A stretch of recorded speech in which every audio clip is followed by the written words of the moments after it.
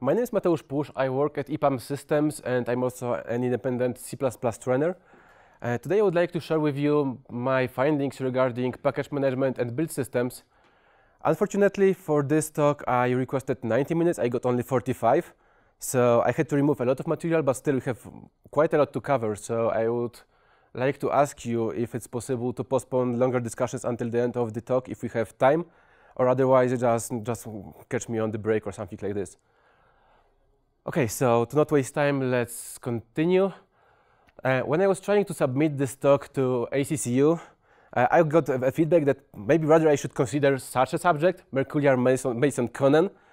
And I said, no, no way. Uh, we just already standardize something, let's say, in our environment. We use Git, we use CMake. Let's not try to different our environment anymore. So I would stay with, with Git and, and, and, and CMake. Maybe this is not our favorite tool, but, but, but it seems to be a st established standard already. By the way, can I see a show of hands who likes CMake and who uses CMake in the work? Maybe who uses CMake? All of you. And who of you likes CMake, in fact? Oh, there are quite a few people here liking CMake. Okay, so this is what we have right now, in my opinion. We have, let's say, something like quite an established standard for, for having Git as a version control system, CMake for building stuff. And for package management, we don't have anything right now as a standard thing that every project supports. But I would say that Conan uh, is a really strong contender here, and I would like to introduce it to, for it to you today. I am in any way not, not related with, with Conan project. I just have some user experience with that. I found it working for me. So that's why I, I selected to, it to, uh, to show it for you today. Um, first of all, I would like to maybe uh, list typical um, ways of handling dependencies in our projects. Maybe once again, a quick show of hands if you use external or third-party subdirectories in your, in your source tree to store external dependencies. Uh, la yes, like quarter of the room. Uh, maybe you are using Git submodules for the same, using add, add subdirectory. Uh, the same quarter, exactly the same people. it seems so. Okay, external project act in CMake. Did, do you use it? Only a few people. Okay. Uh, maybe you are downloading and installing each dependency by hand and then using find package in CMake to find them. Yeah, again, quarter room. I think that this side is, is like more active. you can also try, guys. Uh, okay, and maybe you tried using other languages toolsets like Maven, NuGet in other projects to, to handle dependencies. This is this also happens, yes. And this last one is: Have you any experience with Conan already? I assume you have, at least a few of you. But this is a new tool on the market, and I would like to uh, to tell a bit more about this. Okay, so uh, a few words about add, subdirectory uh, approach. Let's assume we have uh, some liba that uh, uses gtest for its in internal unit tests and exports Boost as an interface of its, of, of its library. We are using Boost 166 and gtest 180 for this lib, and we have two libs like this. We have another library that has another Boost version in its submodules, for example, or, or, or in the source tree. It has OpenSSL and a different gtest. We may have a bunch of those, but for the sake of the slides, let's have only two, and have a project that uses them. And it, of course, also has its gtest version, but it uses the latest one from the, from, from the Git repo. It uses different OpenSSL. And what's now? You have boost file system from one boost, boost file system from another boost in the same libraries. How do you handle that, yes?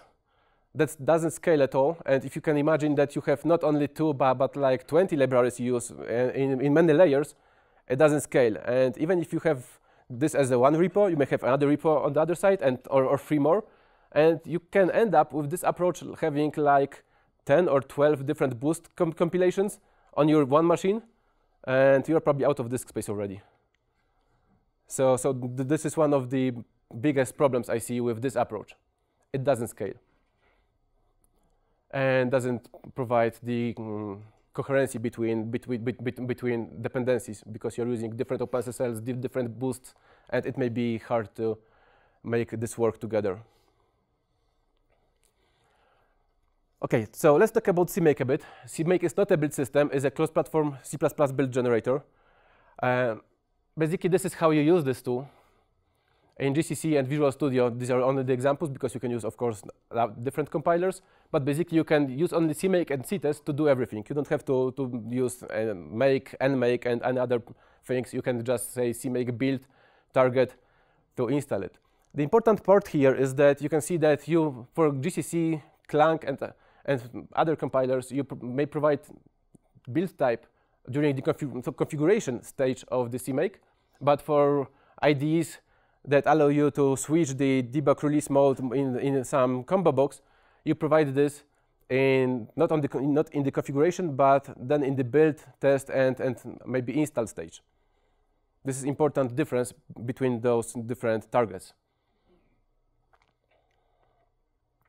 I would not talk much about CMake uh, as a mod modern CMake. There was a great talk last year here by Daniel Pfeiffer. I will just maybe refer to some things that he already told you, but if you, look, you are looking for more hints on how to use CMake in a modern way, just go there. It's really great talk, and every, everyone using CMake should see it. Basically, the outcome from, from, from his talk is that build flags don't scale, that uh, each change in public flags has to be propagated upwards. Uh, it's not possible to maintain those flags on the large scale, and that different projects may may contain um, or require different conflicting flags. For example, we can think that something that unique name like verbose as a um, preprocessor define can have one project like values from 0 to 3, from in another project from values from 1 to 5, and when you make them global, how you want to configure those two projects in your, in your source tree, for example, if this is made global, yes? And we use verbose or, or debug level or anything, or log level mm, in, in many projects, the same name. Modern CMake is about targets and not properties. To create a target, use those commands. You have add executable to, to create executable. You have add library with different options to create shared static object interface libraries. There is also a specific option for so-called alias. We'll talk about this a bit later. And also there is a possibility to create a few of those with an, as an imported target, meaning that the CMake will not try to build it. It will just reuse what's already built and, and make it a target in a CMake. Also, if you will not provide any static on shared here for add library, it will depend on the uh, build shared libs option of CMake. And, and based on this, it will either be shared or static. So if you will leave this and not provide anything, you can then from external source, just configuring the project, you can say if you want to build it in a shared way or in a, in a static way. So I would assume if you are linking static stuff into a large library, just mention it's a static. If something has to be shared, just make, make it shared, but the final result of your library probably shouldn't have anything there just for the user to, to, allow, to allow the user to, to specify which kind of library he wants to build. Okay, so modern CMake, it's like from 2013, I specified target XXX commands. For example, this target link libraries. It, mm, what's new in there in this modern CMake is that you can provide private, public, and interface modes for dependencies. So basically how it works. If I need it and my dependers or users need it, it should be public. If, if it's needed only by me, but the dependers doesn't use it because it's only my implementation detail, I use private. And when it's not needed by me, but the dependers need it, for example, it's a header-only library, you provide it as an interface. Of course, the fourth option is, is trivial here. If no one's needed, you just don't care.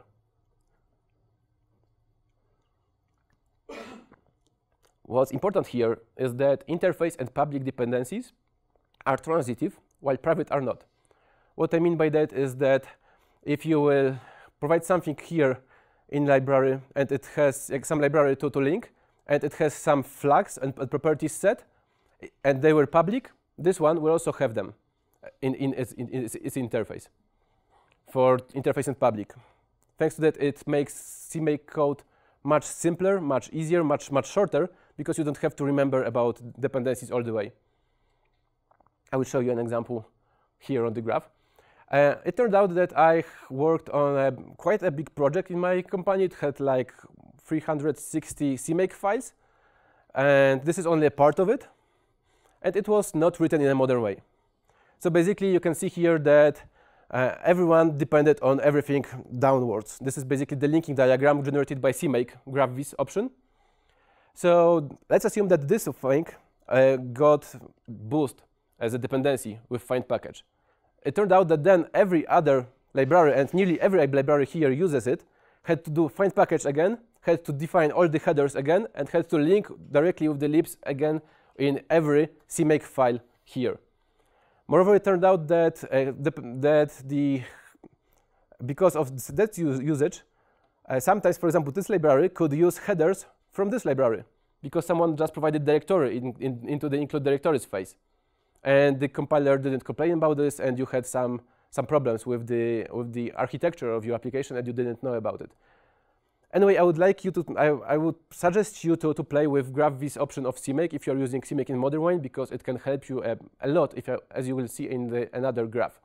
One of important things maybe here, you can see that there's library hanging without anything. It didn't link with anything, actually, but it worked because everything was global and uh, linker did the magic for this.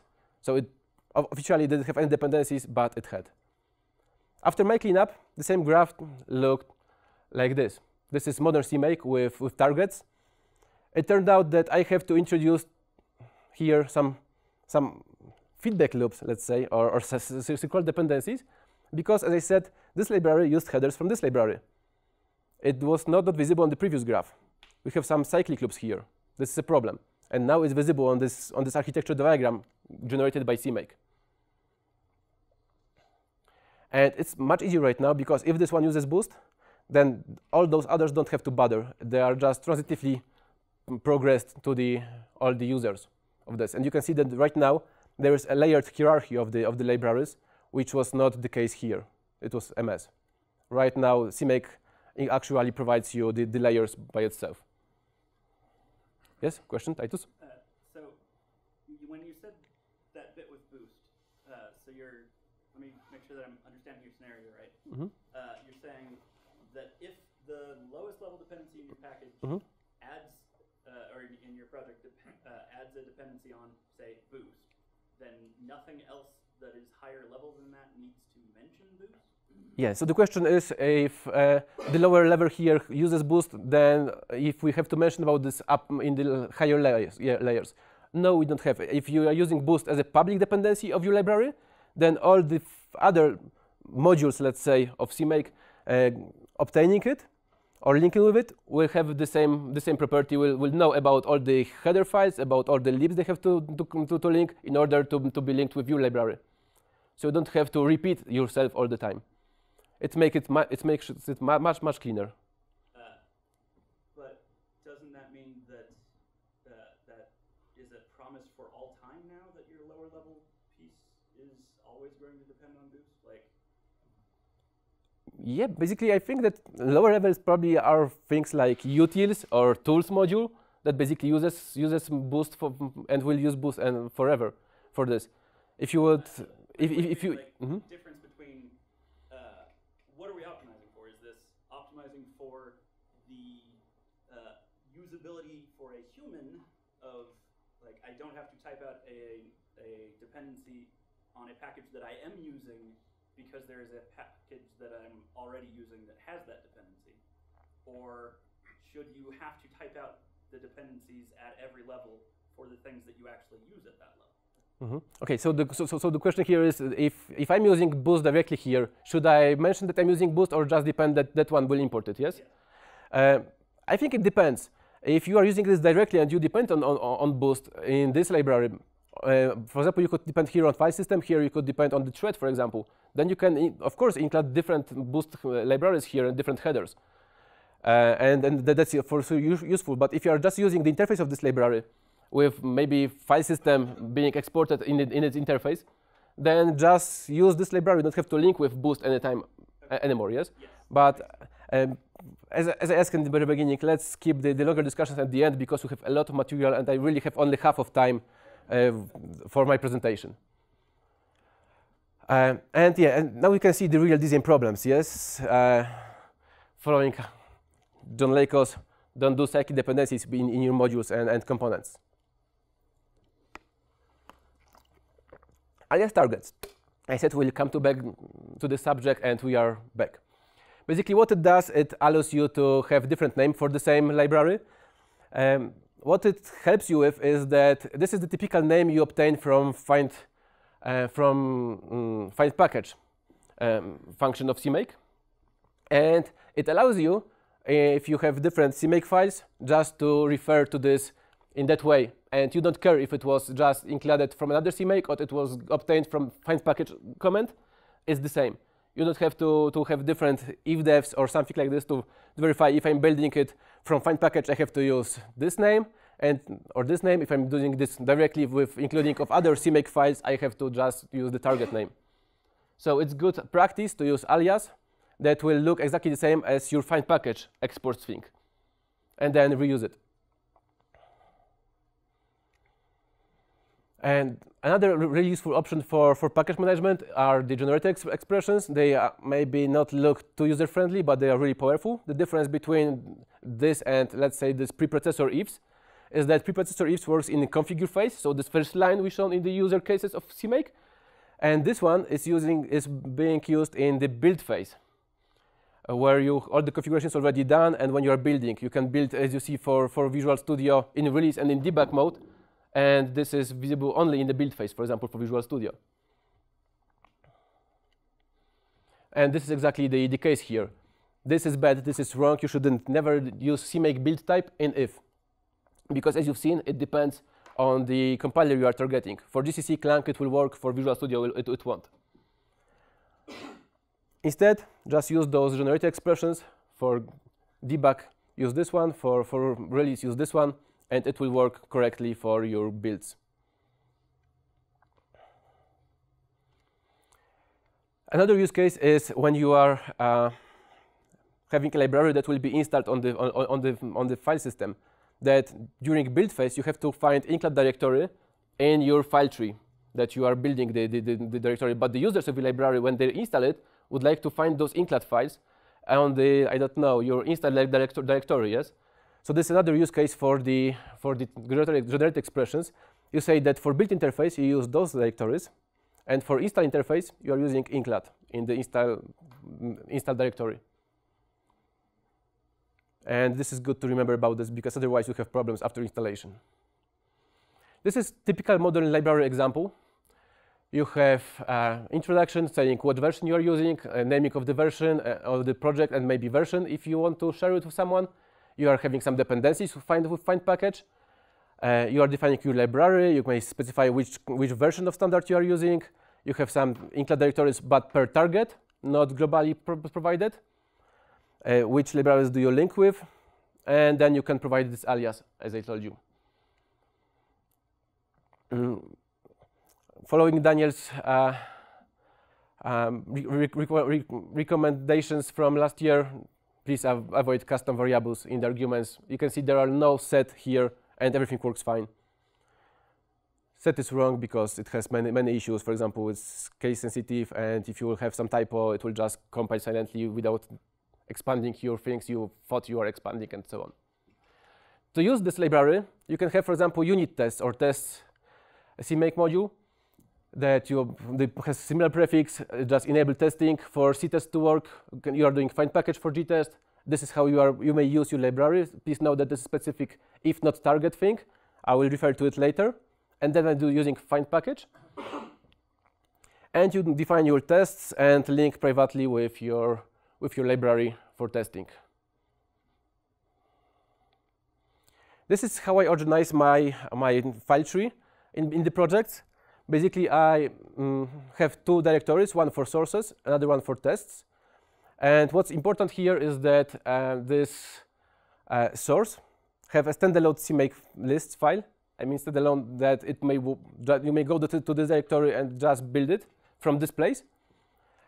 And this file never changes the compiler warnings. please do not play with compiler flags in this thing because then if I will include your library in my project and I have different compiler version maybe two years later that has better um, diagnostics and you enabled me WO, I don't care about your bugs um, that are only warnings in a, in a compiler. I don't want to find in your CMake places where you mm, enabled me the highest level warnings possible in GCC. It just has to compile for me. Yes, it's a dependency. I don't care about th those problems. Mm, do not play with warning flags in this file. There's another standalone directory here, tests, and you can also go to this directory and build and build the project. And there is a wrapper at the top that just includes those two. It's being used mainly for the development for, for IDEs like CLion or, or, or, or Visual Studio to enable you to open this as a one big thing and don't have to install stuff in order to test. This is how this wrapper can look. So it's basically just add sub-project here and here. And you have to enable testing again because it has to be on the high, highest level of CMake in order to work for CTest. Okay. How are we doing on time? Uh, following Daniel's recommendations, don't use this and don't glob files, uh, avoid variables, don't play with CXX flags directly, uh, and a few more things I will not scope right now because we have really we are really tight of time. Okay, so we compiled stuff and we are done. Yes, this is how many uh, library authors think about their projects. If, if it compiles, that it's fine, I have my project running great. No, this is a social code, as, as, as, as David Sankel said a few years ago here. Uh, we shouldn't think only about ourselves, we should share our project and make it easy to, to obtain by others. This is the file tree. I would like to have it installed in my, for example, local directory. Yes? I would like to my uh, headers being exported and all the CMake configuration of all the targets being exported. And of course, the binaries. And this is how I do it. Basically, this is the, the abbreviated version of the CMake we had earlier with the most important part, parts here.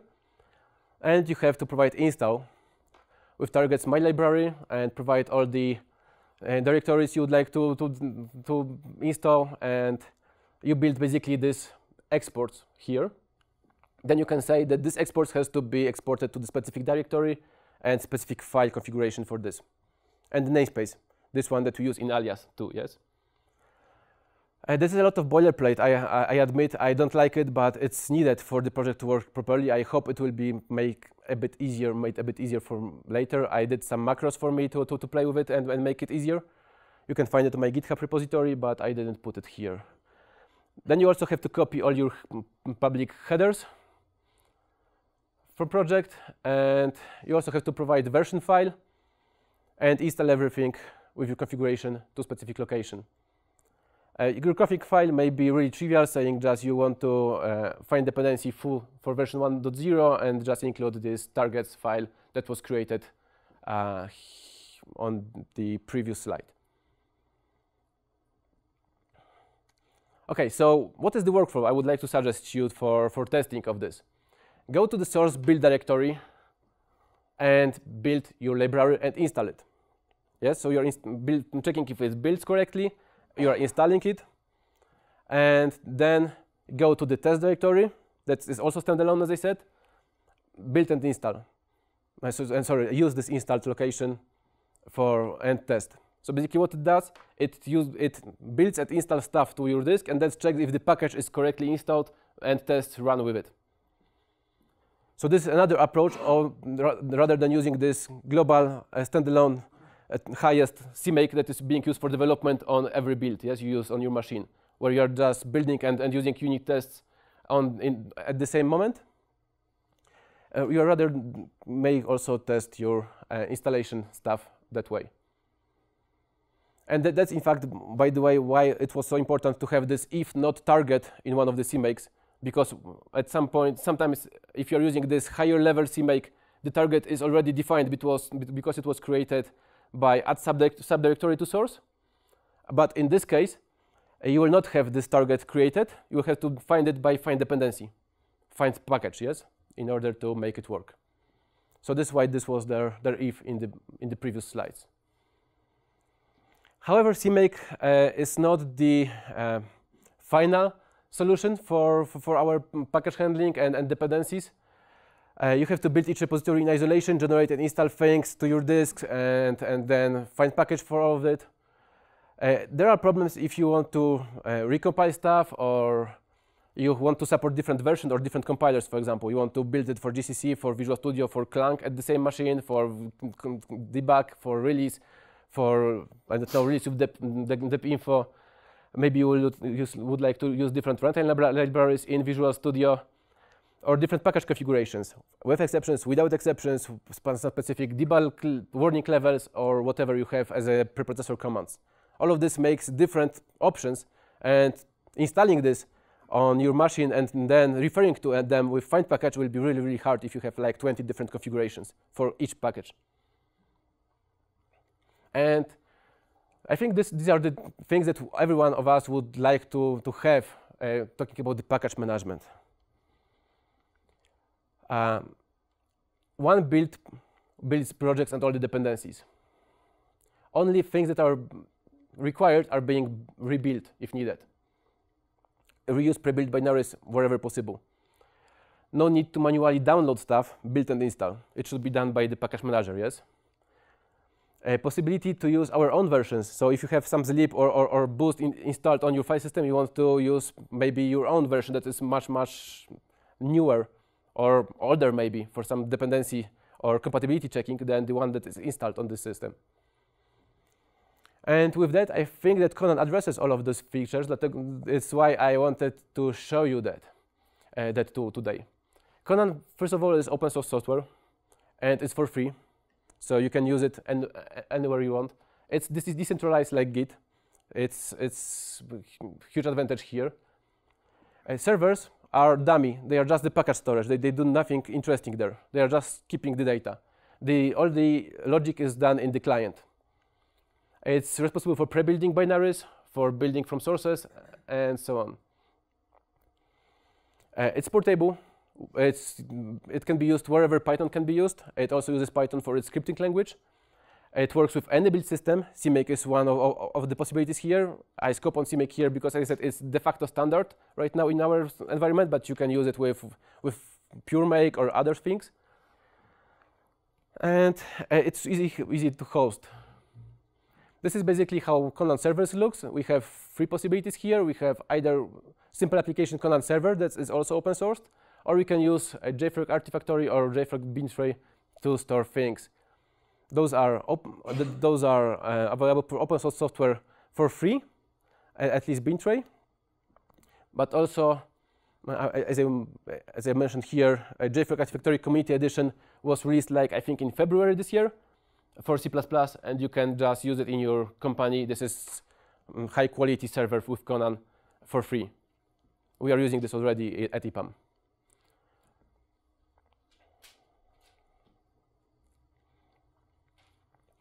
And basically, to start working with Conan, you have to understand how the identifier looks and, and works. First part of the identifier is a package name. Usually, it's a project or library you, you pack. There is another part is, is uh, package version. It can be any string, but it's recommended that it's typical string with dots uh, of, numbers with dots because uh, then you can use like ranges of versions, but you can type things like RC1 or something like this if you if you need. Um, user is the next part here. It means who is the owner of the package. You can use, for example, official Conan packages, then this user will be Conan, but you can build your own. And then it will be like your company name or your private name. You, have, you may have your own alternative versions if needed. And channel uh, means um, the different streams of the, of the same package. For example, it may be different maturity level of the package, not the library itself. For example, you may just created this package like two or three days ago and you don't know if it's stable. You can say it's testing phase of this package. You may say, for example, that it's built with some specific options for some specific project. This is a specific branch of this of, of, of, of this build, yes, uh, using this channel. This is basically how the package look on the uh, Artifactory. Basically, it has export directory where you can find Conan file Python or TXT depending on the on the package. Mm, or probably there's Python for those installed on the Artifactory. And you have different packages for different configurations. When you download it to, or install to your disk, is, uh, it looks similarly, but you can find that uh, only one version of gtest was installed because I needed only one. It's not that I'm downloading everything that's on the server, yes? Only things that, that are needed are being downloaded and installed on your file system. They are stored globally in one Conan directory, so all the projects will reuse the versions if they will have to use the same version. So you will not end up with 10 versions of the same boost version in different subdirectories in different, in different repos. You have one centralized place to store the sources and binaries for the same version, of course. Because if you would like to have different versions, then you will have different hash, hashes here for each version or for each configuration if needed. Or here. Here will be versions, sorry, and here will be configurations. Uh, to work with Conan, you can do Conan search to find local cache and, and, and, and list all the libraries you have right now in local cache. By saying local cache, I mean that you can work offline with Conan. As long as it's already downloaded on your disk, you can rebuild stuff, you can install stuff, and it works. You don't have to, you don't have to access the internet. Uh, they can inspect the, inspect the details of this. I will show you on the next screens how, how it looks. Um, and yeah, you can inspect also dependencies of, cover, of, of current uh, project. I will also show you how it looks. And you can also generate graphs with CMake of dependencies or of configurations you support. This is how Conan info looks. Basically, it provides you information for OpenSSL that uh, what's important, most, most important here is that this OpenSSL requires zlib, and then automatically the zlib is printed and downloaded and installed on your system because it's a next level dependency on your project that you even don't care about. And this is how Conan search looks for a specific project. It provides information that this hash that we've seen earlier is built for specific options. These are basically like preprocessor flags, let's say. Or this, this is the CMake shared option for libraries. And settings, meaning what compiler and what configuration you want to use. Each, if you change anything here, you have a different hash and it will be a different package on your on your disk. So everything makes another copy and you can store them in parallel and Conan really nicely handles that for you. To install specific package hand, you can just say Conan install and provide the identifier saying that you want to generate, for, for example, for CMake files, and everything will be downloaded, compiled if, if, if, if, if it's not compiled for your specific configuration, and files for CMake will be generated. Um, but it's not user-friendly, this, so basically you can provide two different files, either Conan file txt or Python version of this file with all the dependency and configuration you require for your project. And you just basically provide the path to this file from build directory in CMake, and, and it will install all the dependencies for you. You can also provide the profile you use. So basically may have profiles for different compilers, for debug, for release, or specific build types on your disk, then you don't have to provide any flags on the command line by yourself. And if you provide build missing or build specific project name like gtest, if it will build this project from sources, if it's not built, otherwise it will just uh, exit the installation process saying that cannot find pre-built binaries for this project. Okay, this is how Conan file looks. It takes the version of it. You have three base groups here. You have requires, saying what are the requirements of your, of your project, specific options that we'll refer on the next slides, and generators will scope on CMake only here because we care about CMake, as, as I said at the very first slide. In Conan file Python, it's really nearly the same. It's a, maybe a bit complicated, but we provide the same information in requires clause and in generators here. When you want to provide some options, like saying you want to build gtest in a shared version, you just provide here the, the option here or, or here, and then those libraries will be built that way or downloaded that way if available on the, on the server. Or you can also provide those options from the command line with specific syntax. You can also build all the dependencies as shared with, with star. You will find out when using shared versions that you sometimes will have problems with linking and execution, execution saying that you cannot find uh, DLLs needed to execute this library. So there is specific imports clause and imports function here saying that you want to copy all the DLLs to your current binary directory in order for the dependencies to be found. Uh, Conan file Python uh, in Python version provides you more power than the text file. For example, you can add here CMake as a module, provide configurations you would like to be able to build with CMake, and provide simple uh, procedure how to build. So this creates CMake's object and configure step, build step, install step. And then you can just build all the project with all the dependencies with these two, two command lines. You don't have to use any CMake command, com command lines, then just use conan install stuff and conan build, and everything is done for you. Also, for example, you can say that uh, you want to specify some options like testing, true, false, and the default, default option for your package is testing equals false. And then, for example, we may provide the method requirements here, saying that if you are testing stuff, you may want to try this dependency, but for stable builds, just use the previous one that was, that was already checked. So this basically makes the, some of the requirements dependent on the configuration that you can provide easily, uh, as we've seen in, in the during build. And there are many, many more features here for Conan file Py, Python version, but we don't have time to, to cover that.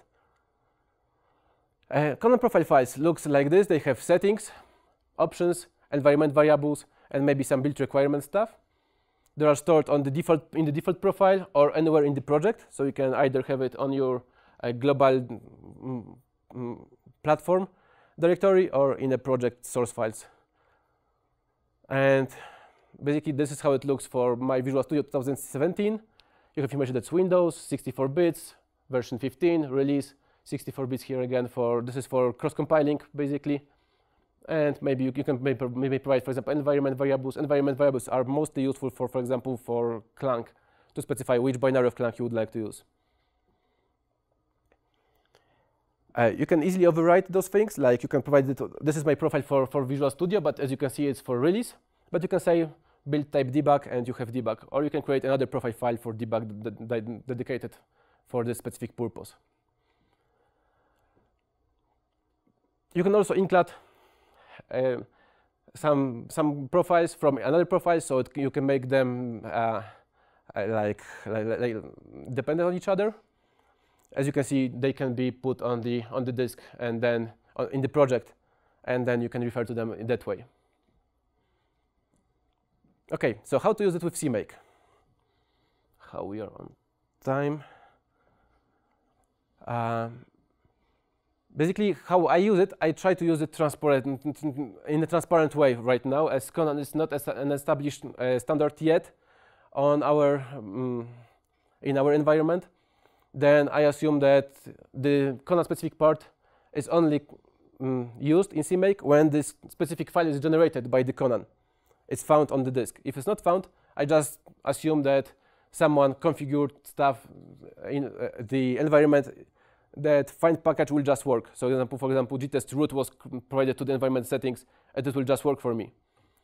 Conan in this file actually provides you the path to gtest root, and this is the, the power of this file. So you don't have to provide it, it will just provide you the link to or path to specific version of the gtest you want to use and with that specific configuration. There are specific options that you could use here. You can either use things that are referred in the documentation, so Conan build basic setup targets. It will create targets with definitions of, of all the packages with in Conan package namespace, and then you have things like gtest, boost, and so on. Uh, but this makes things a bit repetitive, which I will mention on the next slides. So you can use also Conan set find paths only here that will just make the find package work and don't create any targets for you.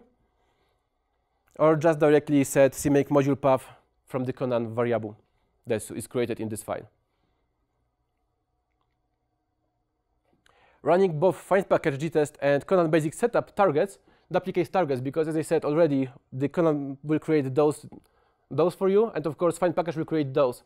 And you end up with two targets for gtest, which is a bit a problem right now, as I see with this solution. And there is always a question which one to use. And this basically depends.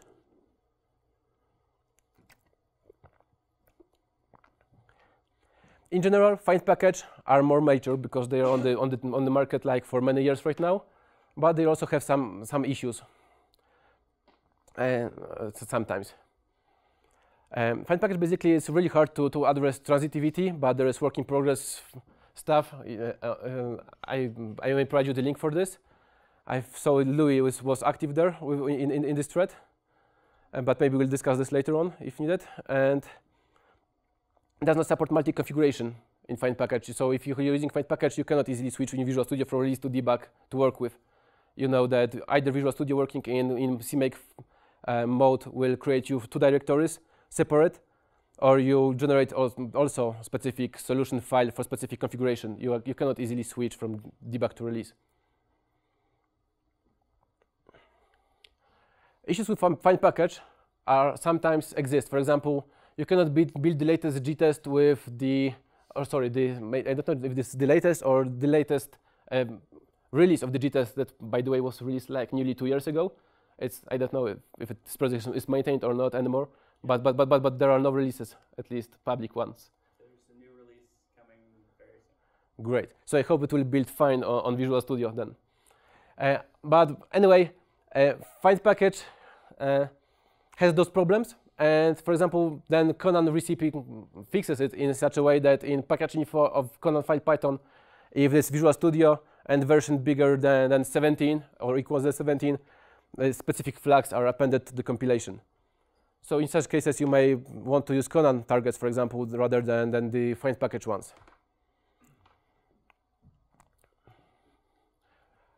Um, to use Conan package, if there is Conan available, you can use this, this if statement here. Or with latest CMake 3.11, you can use such an approach of interface libraries for, for Im imported targets. It also works fine right now with the latest CMake. Uh, I had to skip this subject, sorry. So I will not talk about package creation. It, I can talk like in half an hour what are the BKMs or, or creating a package under CMake, under Conan, sorry. Uh, I wanted to show you this having 90 minutes, but we had only 45. So for now, please refer to the Conan documentation. It is really great, and you can find a lot of information there. And hopefully see you in CppCon, where I will have maybe more time to, to, to describe it and maybe do some, some hands-on stuff there, also to show you how it works on the platform. As a summary, many projects still do not use CMake at all. It's a problem right now, right now as CMake is established standard, as in my opinion. Many projects do not use CMake in a modern way, and even if they do, they do not provide means to install stuff and then to reuse them. So please think about this and, and if possible, update your CMake files in order to, to be compliant, to be social, and to, and to work with that. Regarding Conan, uh, it seems that it's a production quality package manager already. It, is, it has version 1.0 re release last, last winter. It's free for use, quite easy to use. Documentation is really good. Give it a try.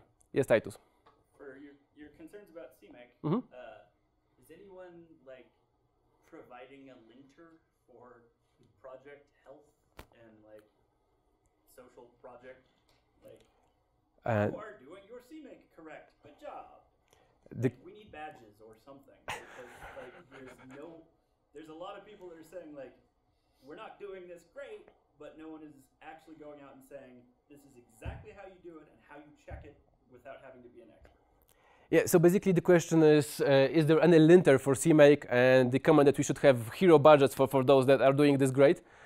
Uh, I don't know about any linter for CMake, but uh, I would really recommend you using this workflow as, I, as I shown you. So please, if you are doing everyday builds or during development, use this top level CMake it's, it's convenient, it's easy, easy to use, but please consider making your CMake standalone for the library and standalone for testing and use it in your CI builds, for example, to verify if your package installs correctly and is being uh, imported directly later, later on by the, by the dependers.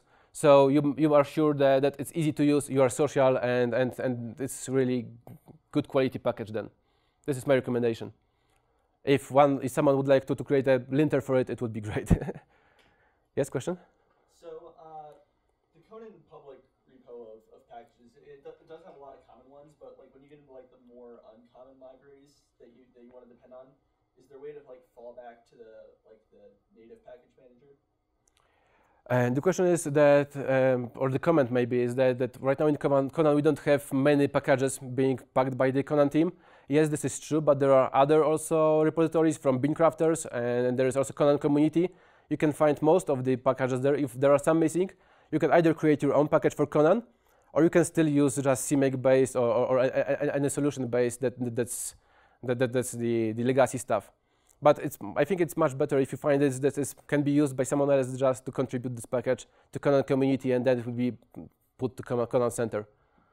It's pretty easy to create those packages. I hope to provide you DBKMs maybe in CppCon. We'll see. Yes, question? Um, yeah, so throughout the slideshow and on this slide, the word install appears many times, um, which, or installation. Mm -hmm. So for Hermetic build, especially like with like in a mono repo or just in general, if you want highly reproducible builds, like having a step where something is installed outside the tree and it depends on whatever version you happen to fling up there is kind of at odds with that.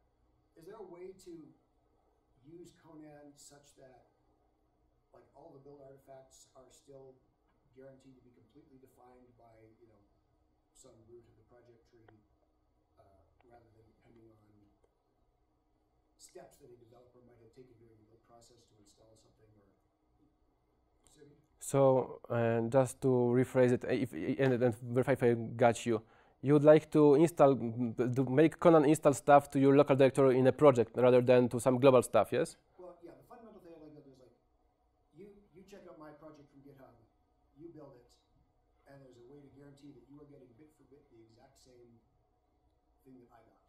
Right. Well, use the same options, right? I think you, you use the same, exactly the same options when you're doing Conan install, then that's what you get, I think. Yeah, so, so, so, so, the comment from Louis here is that if you're using the same options for, the, for building the project, you should end up with the same binary. It, it might be true in many cases, but sometimes the recipes are, are being developed, they are not stable sometimes, or they are in testing phase. So maybe, maybe this, this will be a, a, a bit different build. But if you are using a stable already package of Conan, then it shouldn't change. It should be exactly the same configuration for the same compiler, because as you've seen, the, the, the configuration provides you all the information about the compiler version, compiler kind of, kind of the compiler, compiler version, configuration of this compiler.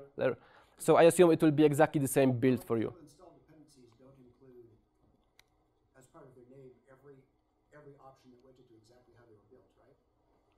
So if I tweak a flag and rebuild and reinstall some dependency, it's in the same location. It looks the same to the build system as if I hadn't done so. Um, I'm sorry, but it seems we are out of time. We can discuss this uh, afterwards because, because we have like a few minutes to switch to another presentation. So with that, thank you very much. Uh, if you have any questions, just contact me during the break or later on.